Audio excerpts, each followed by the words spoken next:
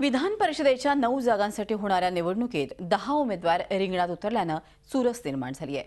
या निवडणुकीत काँग्रेस आणि राष्ट्रवादी काँग्रेसतर्फे प्रत्येकी तीन शिवसेना आणि भाजपकडून प्रत्येकी दोन उमेदवार रिंगणात आहेत.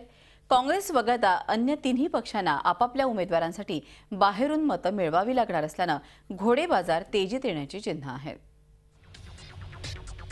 विधान परिषदेच्या नऊ सदस्यांची मुदत संपल्यानं येत्या वीस मार्चला त्यासाठी निवडणूक होतीये. या निवडणुकीच्या रिंगणात दहा उमेदवार उतरलेत. यामध्ये काँग्रेसचे शिवाजीराव देशमुख हरिभाऊ राठोड आणि चंद्रकांत रघुवंशी राष्ट्रवादीचे हेमंत टकले किरण पावसकर आणि आनंद ठाकूर शिवसेनेच्या नीलम घोरे आणि राहुल नार्वेकर तर भाजपतर्फे विनोद तावडे आणि पांडुरंग फुंडकर मैदानात आहेत. प्रत्येक उमेदवाराला निवडून येण्यासाठी एकोणतीस मतांची आवश्यकता आहे. काँग्रेसकडे स्वतःची एक्क्याऐंशी आणि अपक्ष बारा अशी त्र्याण्णव मतं असल्यानं त्यांचे तीनही उमेदवार सहज निवडून येऊ शकतात. राष्ट्रवादीकडे स्वतःची बासष्ट अपक्ष बारा अशी चौऱ्याहत्तर मतं आहेत. त्यांना आपला तिसरा उमेदवार निवडून आणण्यासाठी तेरा मतांची आवश्यकता आहे. यात काँग्रेसची राहिलेली काही मतं राष्ट्रवादीला मिळण्याची शक्यता आहे.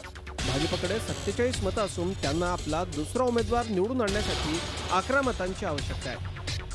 ही मतं मिळवण्यासाठीच भाजपचे नेते विनोद तावडे यांनी नुकतीच मनसे अध्यक्ष राज ठाकरे यांची भेट घेतली होती. मनसेची बारा मतं मिळाली तर भाजपचेही दोन्ही उमेदवार निवडून येऊ शकतात. या सगळ्यात अडचण होणार आहे ती शिवसेनेच्या दुसऱ्या उमेदवाराची. शिवसेनेकडे पंचेचाळीस मतं आहेत. त्यांनाही तेरा मतं बाहेरून मिळवायची आहेत. त्यामुळे शिवसेनेचा दुसरा उमेदवार अडचणीत असेल असं बोललं जाते त्यातच शिवसेनेनं भाजपला न विचारता आपले दोन उमेदवार उतरवल्यानं भाजपमध्ये शिवसेनेबद्दल प्रचंड नाराजी आहे. या सगळ्याचा फटका शिवसेना उमेदवाराला बसू शकतो.